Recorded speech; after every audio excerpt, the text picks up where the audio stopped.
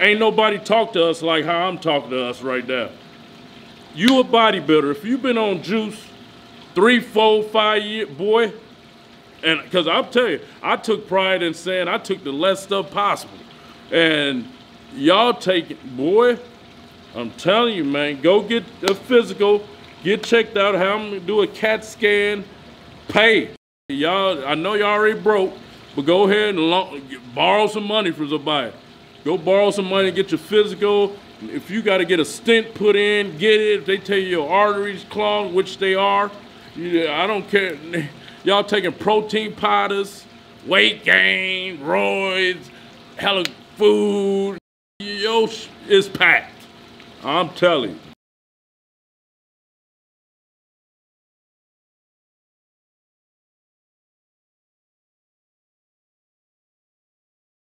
What's up guys, Derek, MorePlatesMoreDates.com. Today we're gonna be reacting to Why I Almost Died, Finally Telling the Truth by Kali Muscle. So if you don't know, he had a heart attack the other day caused by a 100% blockage and he survived obviously and that is great news but it also highlights the importance of proactive diagnostics and not eating fucking terribly of course. I did a video called Kali Muscle almost died the real reason why and i basically elaborate on his age his body weight hormone use as well as lifestyle factors imposed upon himself and lack of ancillary medication use probably. So Again, he was following a highly inflammatory lifestyle and doing literal mukbangs in his 40s, weighing, I don't know, like 240 shredded, um, while still on exogenous hormones and just living a, you know, like, what's the saying? It's like the candle that burns twice as bright burn, burns out twice as fast or something.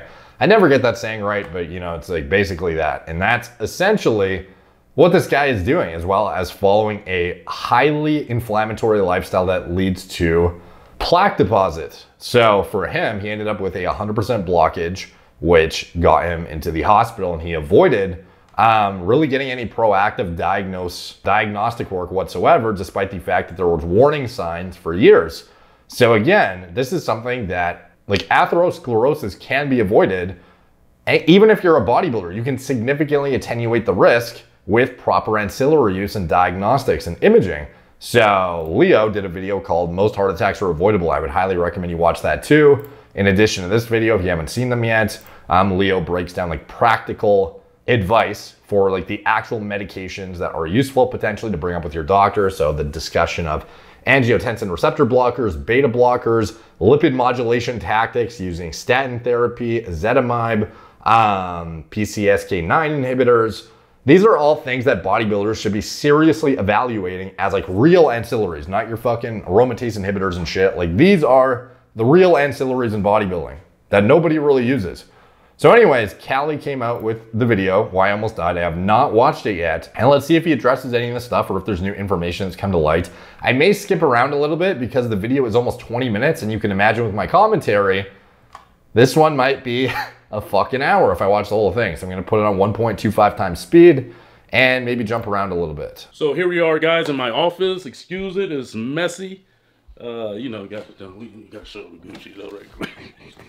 got to show the Gucci right quick. Man. Hey, I'm living, baby. I gotta have fun. That's why I always tell y'all we gotta have fun to the fullest. I gotta hurry up and talk so I can put on my electrocution vest on right here. I'm gonna show you guys.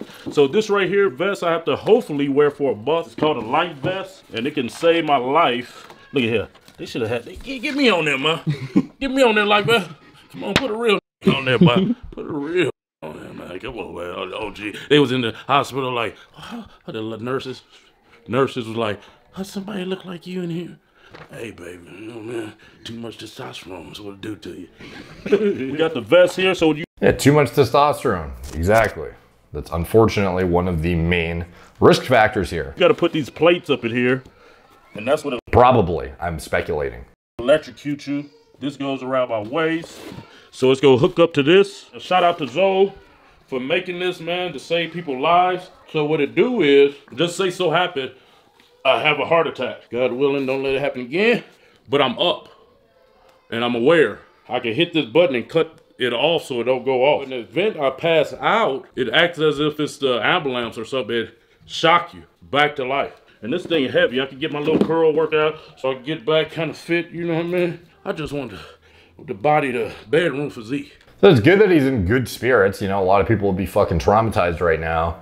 But ultimately, like what I want to see is the plan for the drastic change in lifestyle factors that will prevent this from happening again, hopefully, and significantly extend his life. Because again, this is one of those things I can imagine, one of those warning shot scenarios where you see bodybuilders, they have a significant, you know, cardiac issue, and then, you know, they become a ticking time bomb for like a year later, essentially. Um, he's 46, he's too fucking jacked He's probably using hormones to some extent. His diet is trash from what I can tell, or at least intermittently trash. And um, it's just not sustainable, as you can see. Um, and I don't know what kind of medications he, he's on at this point, but I imagine they would have put him on something pretty fucking significant.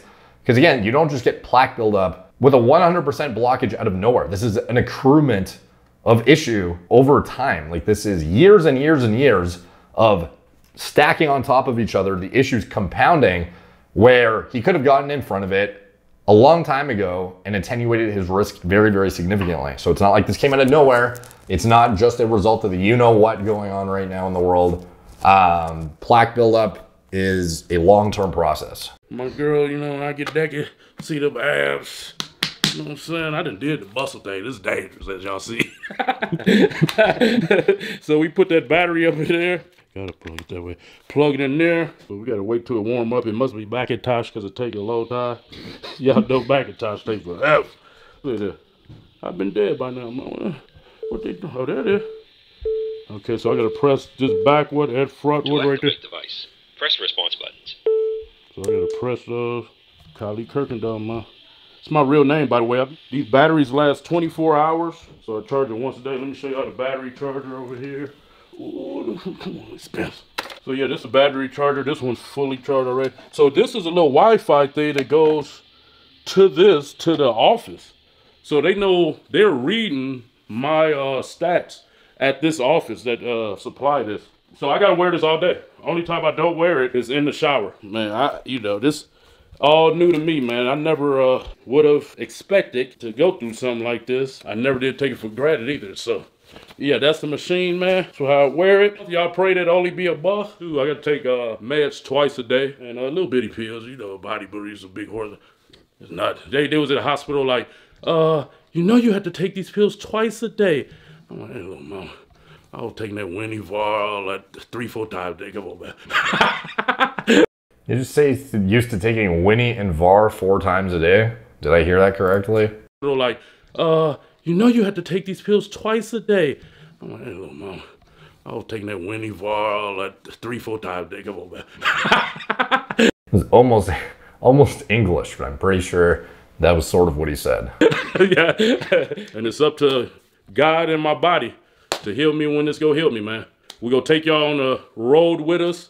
Life after a whatever. You know what I mean? For me, of course, is life after a heart attack. Believe me, I thought about it, I thought about not seeing my kids no more, and that hurt me the most. What's up with the guys? Your boy here, Kali Muscle. This video, as you see the title, Why I Almost Died, man. This is gonna be a transparent video that everybody been waiting 14 years for. For those that don't know my story, as a kid, I was in the sports, football, wrestling, track, went to Okay, I think I might end up watching the whole thing. Like, there's obviously not like a vlog in here. This is like him just sitting down and fucking talking the whole time. So that's fine though. This is gonna be um, insightful into what got him to where he's at.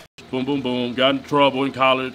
I went to Fresno State, got in trouble, ended up going to prison. But I already went to prison. I already had, we put my 19 year old physique in here. I always was fit, buff, like unbelievably buff. I look like a bodybuilder. Uh, when I got out of prison, I did 1994 to 2001. I got out. I got into becoming a personal trainer and a stripper. Did well with that, but I became a recidivist Went back to prison four times.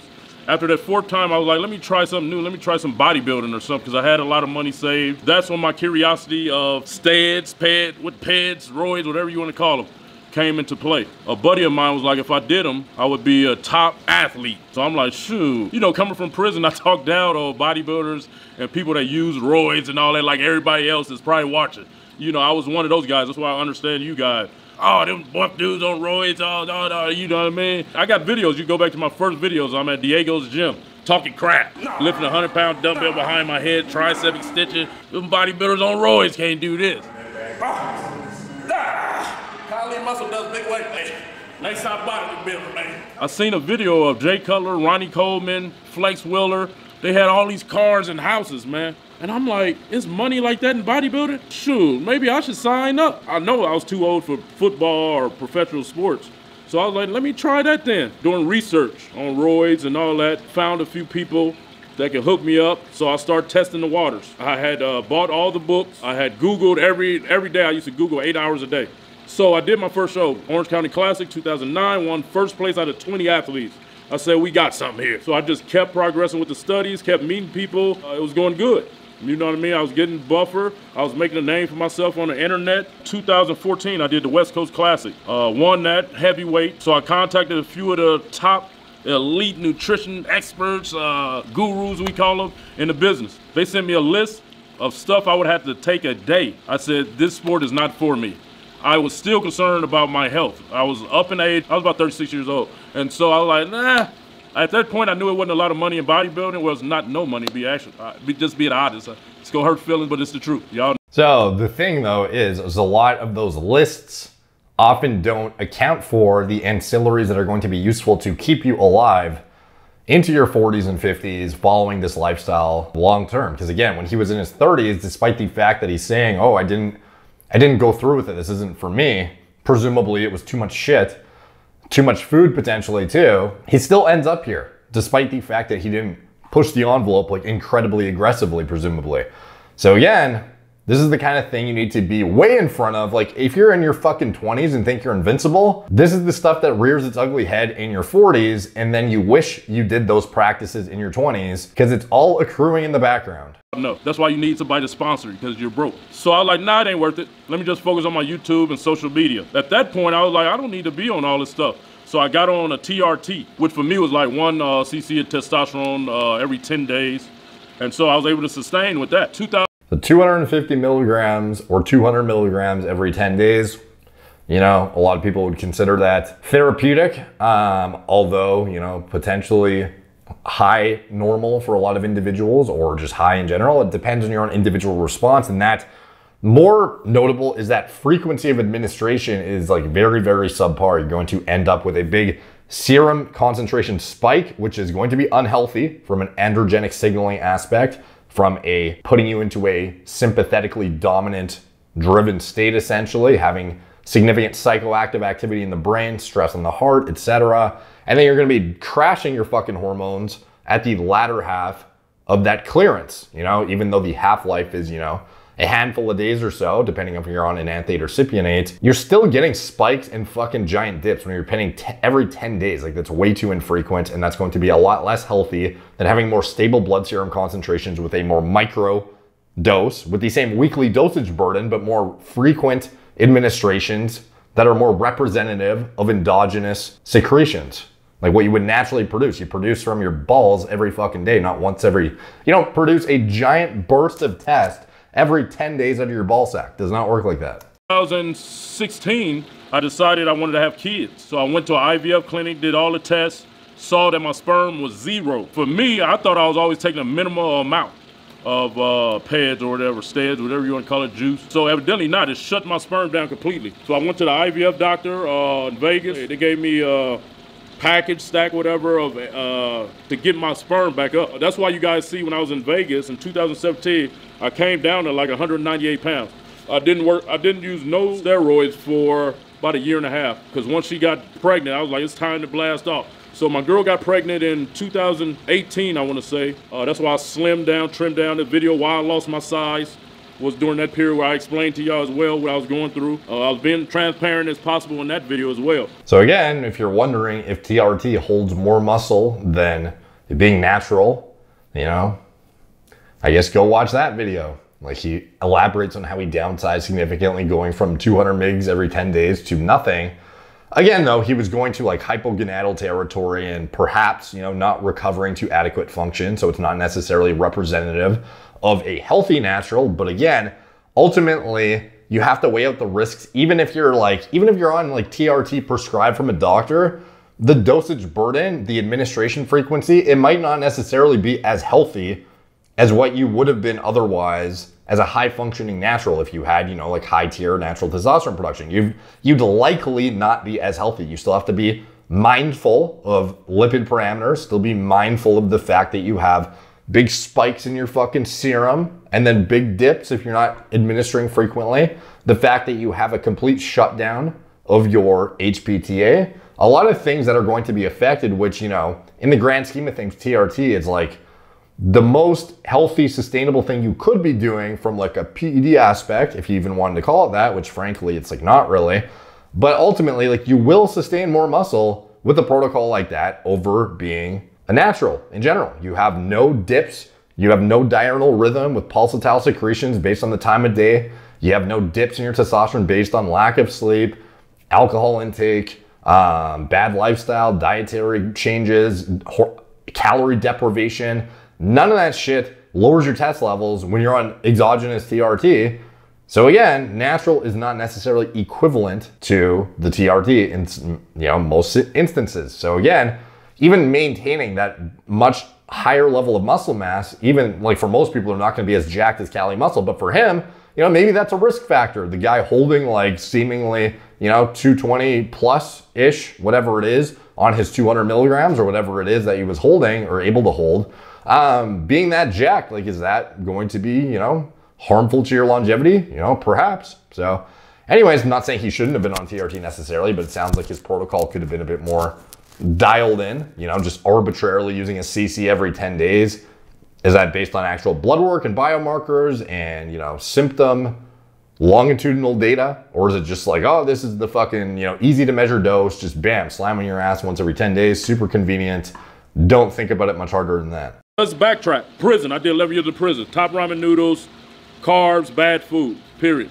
That, I think, was the start of having plaque buildup in the arteries. So I ate crappy for years. I look good on the outside, you know what I mean? I would always say that my body can burn that stuff up, whatever, to bustle, all the top ramens, all the crap food. Before we do the IVF, I had a, a hernia surgery and it was cosmetic. I got a physical. The doctors was mentioning some stuff about kidney, uh, off, heartbeat. My blood pressure was always high since I was a kid. Blood pressure, I ignored it. I'm like, I was a pessimist with the doctors, conspiracy theorists with the hospitals and all that stuff. So I was like, oh, they just want my money. I'm looking healthy and they jealous. They trying to find something wrong with me. You know, they was always telling the truth. I would ignore it. And so when we did the IVF, I did the physical, same thing. Blood pressure high, not abnormally high, but high. 150 over uh, 90 or. That's high, bro. That's fucking high. So having that for years on end, plus plaque development, like this is a ticking time bomb scenario. Walking around this large, you know, it was bound to fucking happen. 80, something like that. And I would say that, oh, y'all don't have a big enough arm thing to put on me. you know, you got to use the manual. So when they used the manual one, I had a perfect uh, blood pressure. But when they used the electric one, oh, it ain't, it read high. So even to this day, now that I had this operation, all of them read normal and good. What this boils down to is that I always knew there was an issue. Oh, don't even let me tell, I forgot to tell you guys. Edema, always had feet and ankle swelling. So again, if you measure high, and then you have a different blood pressure monitor measure normal, like you need way more data. It's not just the time you show up to the doctor. Like you need a fucking cuff that fits you at your home and measuring it over the week with multiple data points over several weeks and getting an average, not just saying like, oh, I, uh, you know, transiently had this blood pressure and then, you know, that must mean I'm fine perpetually. Like that's not the case whatsoever. Or Vice versa, if you have a really high blood pressure, like you're literally nervous in the doctor's office or something, it may not be indicative of what your actual blood pressure is at rest when you're not like anxious as fuck about you being potentially unhealthy. So again, getting a cuff that fits and getting it at home and being able to take these measurements in all scenarios in a waking up um, before, I don't know, like after going to the gym, see how long it takes your blood pressure to get back to baseline, um, multiple data points getting an average longitudinal data essentially to assess like what is your long-term average and then kind of like a basis of what is your cumulative, you know, like blood pressure over the, you know, span of several weeks. What are you actually dealing with as a like comprehensive average essentially? And above and beyond that, like medications like angiotensin receptor blockers, they're not just for attenuating blood pressure. Like they that's their primary reason they'd be deployed. But again, they do work to attenuate the risk directly on cardiac tissue of androgen, anabolic androgenic steroids. Like they are going to be very, very cardioprotective, kidney protective, and it's not simply mediated through um, blood pressure modulation, although that's the one of the main things it does, but it also modulates um, water retention. The renin angiotensin aldosterone system is not very well understood. And I think more attention needs to be drawn to it and educated about because ultimately this is one of the most cardioprotective drugs that exists in the world right now for bodybuilders. And you've even seen data on um, rodents using, like again, obviously there's tons of data on humans reinforcing its efficacy, efficacy and safety profile but even at mega dose steroid studies in rodents, which obviously you're never going to put a human on a fucking like grams of shit and see what happens. In rodent models, they do though. And even on mega dosed fucking gear cycles, you find angiotensin receptor blockade is very, very, very potent in attenuating the uh, morphological changes of the heart. It started in 2009. Miles will tell you, my family will tell you, I'm always tripping on my ankles and feet. Lately, now that I think about it, they've been hurting. And that's what I always would tell Miles, like, you know, I'm having corns and, you know, my feet hurting. And uh, now that I think about it, it was signs because my feet was puffy, so it was pushing up against my shoes. The cause of the heart attack, plaque buildup uh, in that artery, the main artery, uh, it, it could take 10, 20 years to happen, which for me makes sense. When I was a kid, went to prison at 19, eat all that crap food, then compounding it uh, years later with juice. You know what I mean? Uh, so it's a combination, man. Because uh, I don't have a history of uh, heart problems in my family. Doctors even told me at times my cholesterol was high. I had warning. That's the thing. I just wasn't uh, proactive about it. I didn't see myself and like everybody else that's dying or whatever. They know. It's just we don't want to. Ah, let me go to the doctor, make an appointment. Damn, I got to get a stent put in. I, I got stuff to pay for. I got to do this show, that show. I got to live. I got to work. So put it off. You know what I mean? And you can't do that, man. Uh, God. This is good, man. This is like fully transparent and totally serious. Like I was not at the start of the video. I wasn't really sure what to expect because he was joking, making fucking you know little jokes about literal VAR and fucking Winnie. But he's sitting down, he's telling it exactly how it is and exactly what led to everything and like totally owning up to it. Um, if he was on telmisartan, if he was on ezetimibe, if he was on a baby dose of a statin, if he was on uh, like would these things have all have happened?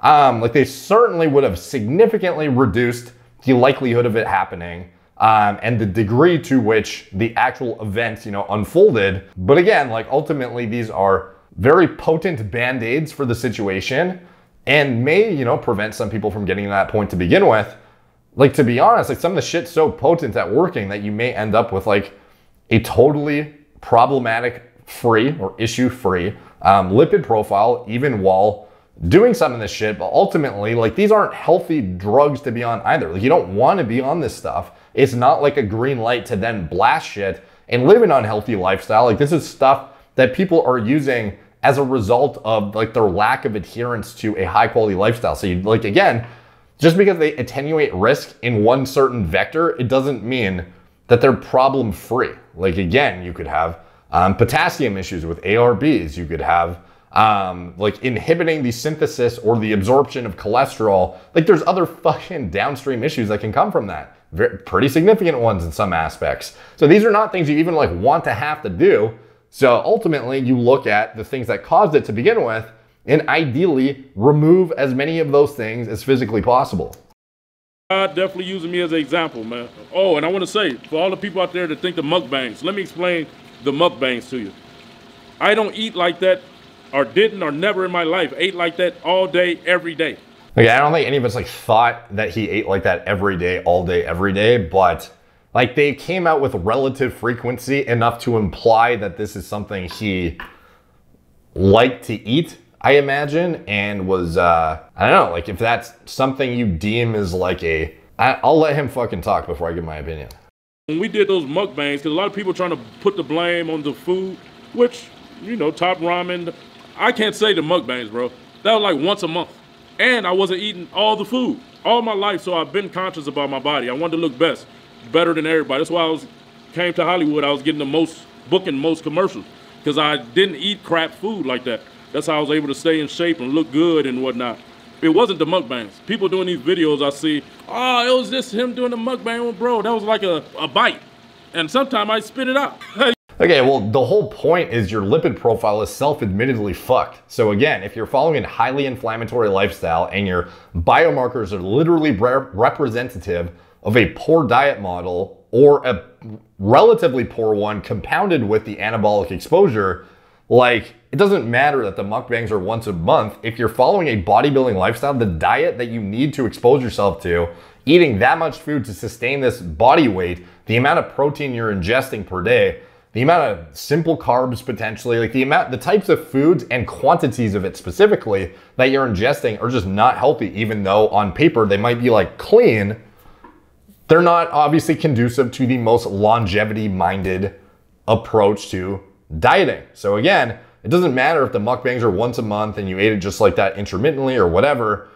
Like that once a month plus everything else you ate all the time was obviously bad enough to lead to this plaque development. Like it's literally the representation of what manifested in the fucking hospital, dude. So, like I can understand, I guess, why he's trying to explain that he's not encouraging people to eat like that. And he never really was. It was just for like clicks and shit. But, you know, like, if anything, I think this should highlight the importance of understanding bodybuilding dieting in itself, even though it could be clean food on paper that quantity of food, the amount of insulinogenic activity that's going on, like this is not fucking healthy at all, dude. You know what I mean? Like, I can't put the blame on mukbang. Uh, if anything, I'm put the blame on Top Ramen. I'm gonna put the blame on Maruchan and Top Ramen. Blessed and happy to be here, man. I look at my kids. That's why y'all seeing that one video, man. All I was thinking about was my kids, man. Damn, I'm not gonna be here to raise these beautiful kids, man. You know what I mean? Go have some weirdo with my baby mama after I pass, you know what I mean? Raising my kids, man. Yeah, man, I hope y'all learn from this. All the bodybuilders out there, my advice, get checked. And when you get checked what they tell you, go get it done. Ain't nobody talk to us like how I'm talking to us right now. You a bodybuilder. If you've been on juice three, four, five years, boy, and because I'm telling you, I took pride in saying I took the less stuff possible. And y'all take it, boy, I thought he took pride in saying he took literally fucking nothing. That's what I thought. I'm telling you, man, go get the physical, get checked out, have them do a CAT scan, pay. Y'all, I know y'all already broke, but go ahead and borrow some money from somebody. Go borrow some money, get your physical. If you got to get a stent put in, get it. If they tell you your arteries clogged, which they are, I don't care. Y'all taking protein powders, weight gain, roids, hella food. Yo, is packed. Yeah, so Vigorous Steve had a really good video about this, um, about budgeting for high quality diagnostics. Because again, how many people will complain like, oh, it's too expensive or oh, it's impossible to do or whatever. It's like actual accessibility. I can understand the issue, but it's like you got to be have some ingenuity and fucking creativity as well as like really pushing for shit. Like there's a way that certain people are getting the diagnostics they need, and if it requires literally paying out of pocket fucking cash like you do it, dude. Like ultimately, you should be setting aside a certain budget to allocate for blood work as well as imaging on a yearly basis, ideally at least, um, and blood work more frequently than that. Um, and this should be something that, frankly, you should not even be buying the other shit if your budget is not topped up on this side of the spectrum with the diagnostics. Because ultimately, you can't fucking bodybuild if you're dead, and you would want your the longevity of your career especially if you're a fitness industry guy, to be as long as possible. Like being mindful, even from a financial aspect, like it makes no sense to put all your eggs in this one basket and just assume based on your youth that it's going to be okay and I'll worry about it later. And then once you end up in a position like Kali Muscle, like he's fucking like rich objectively, but even him, he couldn't find the time or spend the money or the whatever. He couldn't even justify it. So imagine the average fucking person. Like you need to do this from day one literally set aside a fund for your yearly expenses and you should be doing it concurrently while you're budgeting for your fucking bodybuilding stuff. You know, spend a bit less money on the GH, a bit more money on the diagnostics. Or if you're gonna spend a certain amount of money on this, have a parallel equivalent being saved up in the budget for health. I'm telling you, be proactive.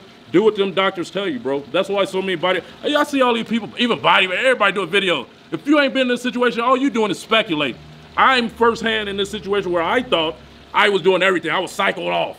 I get off the three months. That's why everybody be. He got small because I get off. Then I get back big. Then I was, thought I was doing it right. Evidently I wasn't. And I know y'all ain't because you want to win a show. So you ain't gonna never get off. And guess what? Your system is effed off. RIP uh, George, Dallas, Sean, like all the people that just passed, man. They know. Everybody knows when they go get that physical, bro.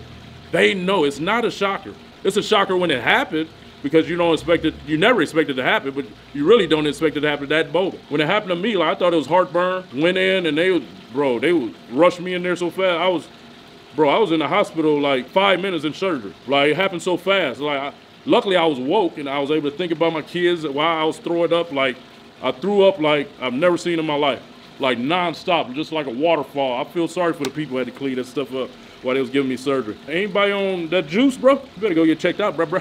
Me moving forward, doctors say I can still do TRT. But we, you know what I mean? I gotta keep my libido up, man. I got a woman 10 years younger than me, bro. You know what I mean? But what I am gonna do every year is get uh, a EKG scan of my whole kidney, heart, everything, bro. Hey, this was a wake up call for the world, for me. You know, when nurses was coming in there, shh, don't tell my baby mama. You know, they was like, what is you doing up in here, buff man? You know what I mean? Hey, I had too much testosterone in my system.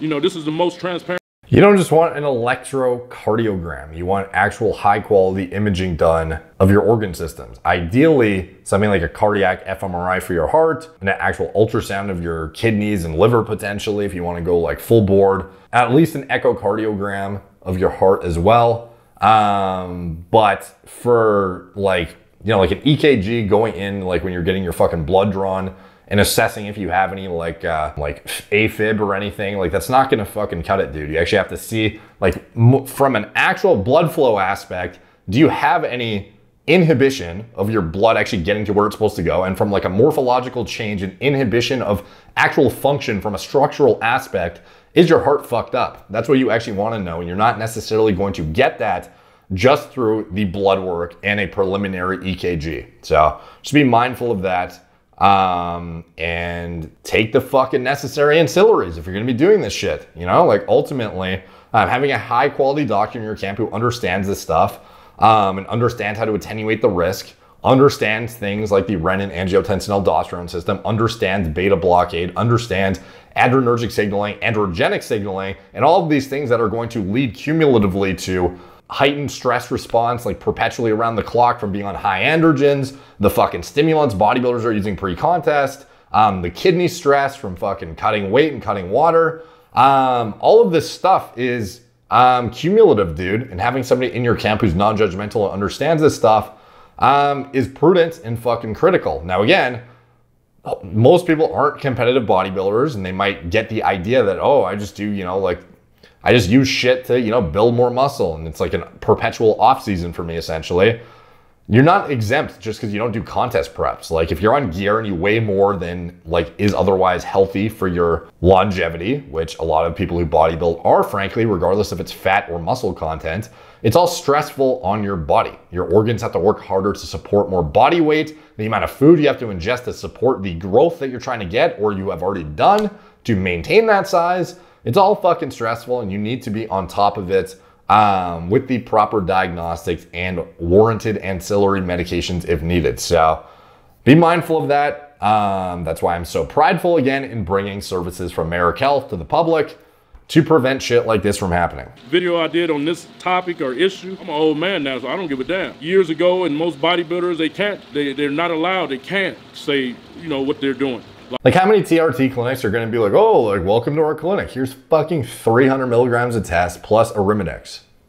Surprisingly a lot.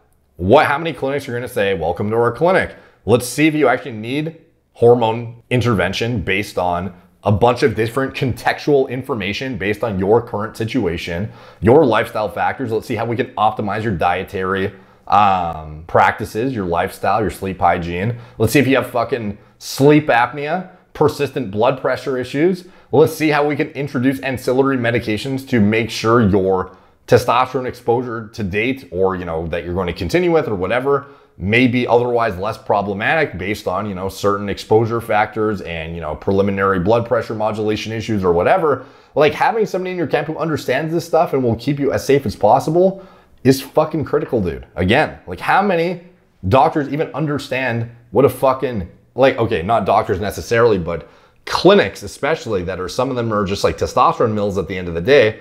How many are going to give you an ARB to begin with? Like fucking none, dude. Like this is the kind of stuff you need to be mindful of when you're going into it too. Don't just assume the guy knows what he's talking about. Go to a clinic that actually understands this shit and is um, looking out for your best interests from a longevity and quality of life aspect. Isn't just trying to throw you on meds that make you feel good. Like, oh, you're fucking 60 and now your dick works as good as it did when it was 20.